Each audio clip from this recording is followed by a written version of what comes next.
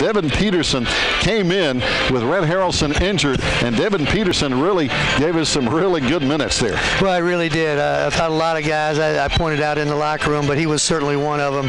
Uh, he had a lot of poise and and uh, you know made some big plays for us. It's hit you know the transition layup and the breakaway. Uh, hit hit a couple little hit a runner and went to foul line.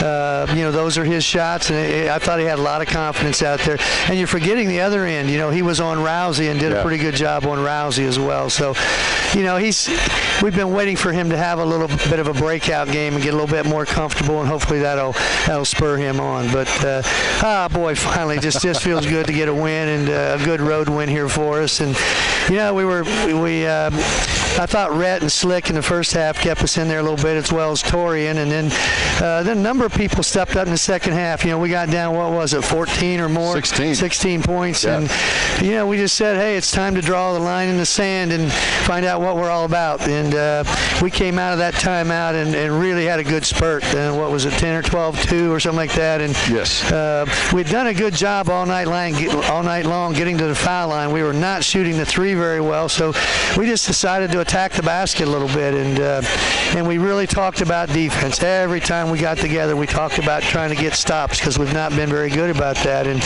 I thought the defensive end, Charlindis Brooks and Tucker Thompson, uh, uh, you know, did a great job on, on Roberts because he started out the second half, hit hit two or three again, and Yeah. and then I thought JB's defense, you know, he's just he gets his hands on so many balls. He got some big rebounds. He got some deflections. He got some uh, some steals down there. And uh, but collectively, we were able. to, You know, they only shot 32% in the second half. Get some stops. And you know, then we finally hit a big shot. And I thought, uh, you know, besides the big plays that Devin made, and you know, um, we we had some drives. Some guys were hitting baskets, but we needed that big three that Mike gave us. That gave us the lead. And Rebound.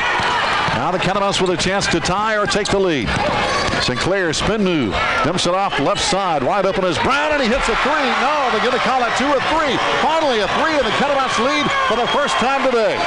you know we've had some open looks that we just haven't hit but he finally uh, we finally got one to go down and then of course slick at the end the four big free throws that kept us in a you know with a four point lead so just a great team win for us and uh, our bench really contributed well today and uh, just really really happy for the guys because it's been a it's been a tough grind here so far